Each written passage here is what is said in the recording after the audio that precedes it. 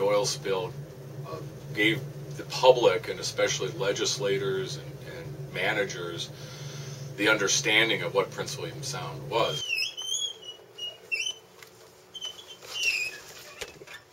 The beaches that were impacted are very remote. People can't, you can't drive to them, you can't easily even boat to them because they're, they're pretty remote. And there's this real disconnect from people understanding of what was really out there, what was still out there. Um, and the impact it would be when I bring a little jar of, of oiled sediments from a beach to people. The biggest the biggest thing with this is because it just looks like dark soil, and but you can see the oil Mm-hmm. blobs, and the, you just touch it, and there's the oil on the. The odor is the thing that that definitely lets you know it's. Oh my gosh. Yeah. It's completely petroleum. Yeah. Right. Yeah. So this was uh, the 18th of uh, March of this year. Wow. Eleanor Island. you know, and share them with the museum and with the Regional Citizens Advisory Council office and the Environmental Conservation office and media and things like that. So it got to be a little almost obsessive. it gets tiring too. It can get a little depressing out here again on the beach, 21 years later. You know, pulling up oiled sediments, but the but being you know that here it's just this little thing is actually um, compensating for the millions of dollars of propaganda that Exxon puts out that everything is fine, don't worry.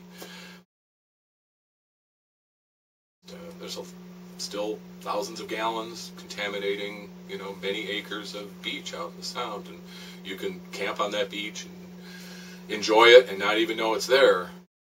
It's in little pockets behind big rocks or under big rocks or just under the clean soil, and it'll be out there for a long time because the the oil that's in these sediments is cut off from oxygen, and and that's what's keeping any bacteria from breaking it down.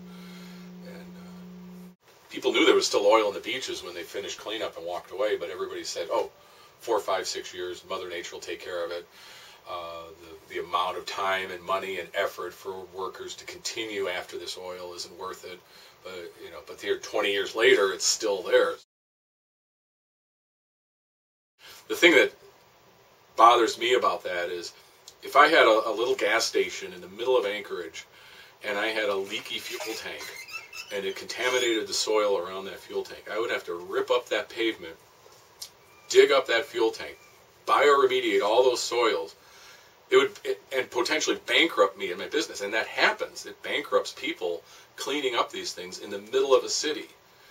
And here, the richest most profitable company in the known universe is able to leave hundreds of contaminated sediments sites in a pristine wilderness area is criminal to me.